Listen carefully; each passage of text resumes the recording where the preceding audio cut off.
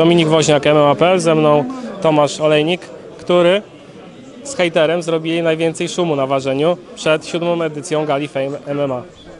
Witam. Powiedz, y, co się stało? Puściły ci nerwy, chciałeś, y, nie wiem, pokazać po prostu swoją siłę tutaj już y, na ważeniu i dlatego zaatakowałeś swojego przeciwnika barkiem? Yy, myślę, że no trochę nerwy mi już puściły. Nie mogę się doczekać tej walki jutro.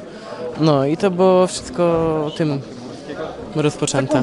Byłeś e, zaskoczony, że e, hejter, tak, wiesz, poszedł do tej gilotyny, wskoczył e, w gardę, w ogóle No powiem Ci, że byłem zaskoczony, bo myślałem, że prędzej to będzie chciał jakiegoś fronta mi walnąć albo, albo mnie odepchać, ale zdziwiłem się, że do gilotyny od razu chciał polecieć. No.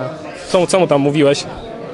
Wiesz co, to, była taka, to były takie emocje, że ciężko mi powiedzieć, co ja wtedy mówiłem, ale go jakoś wyzywałem, ale No, może lepiej nie ci- mówić, bo nam mo- Tak. monetyzację tą na wywiadzie. Powiem Ci, że, że jutro zrobię wszystko, żeby nie miał okazji zejść do tego parteru, bo e, jak patrzyłem dzisiaj jego media training, to tragedia jest u niego. I, I pewnie tylko gilotyny się nauczył i będzie liczył na to, że ta gilotyna mu jutro wejdzie. E, Hejter, uważam, że to jest najsłabszy zawodnik z tej karty e, walk. Czy ty w przyszłości chciałbyś walczyć z lepszymi rywalami? Jasne, jasne, że tak. To dopiero początek tak naprawdę nowej, nowej odmiany olejnika i wiesz, to dopiero zobaczysz, co się będzie działo. No właśnie, nowy olejnik. Ja rozmawiałem z tobą na Fame MMA 5 i bardzo cichy gość, taki stonowany, krótko odpowiadał, a teraz jest zmiana. Jak to się stało? Wiesz co, no pewne rzeczy sobie uświadomiłem i w internecie teraz po prostu kreuję się na osobę taką, którą jestem, a nie na osobę taką, którą grałem. No i tak to wygląda.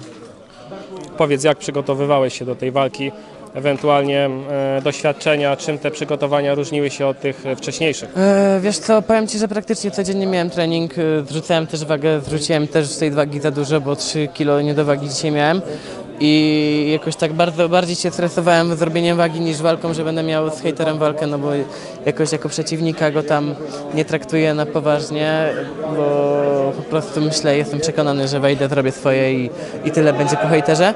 Co do przygotowań, no to trenowałem trochę parteru, no i stójki. No Tam on jak pierwszy... pierwszy Judo nie tym- trenowałeś? nie, nie, nie. On coś tam o tym judo Czemu gadał. judo nie trenowałeś? No wiesz, to nie miałem akurat 7 lat wolnych, żeby potrenować. No, on mi mówił o tym, o tym parterze wszędzie, no to też ten parter trochę podszkoliłem. I powiem Ci, że no trochę w tym parterze zacząłem ogarniać. Ale nie mam jakiegoś game planu, żeby w parter schodzić. Jak on po prostu zejdzie, no to, to w tym parterze po prostu zadziałamy. Powiedz mi jeszcze na koniec, jaki jest twój idol sportowy na świecie lub w Polsce?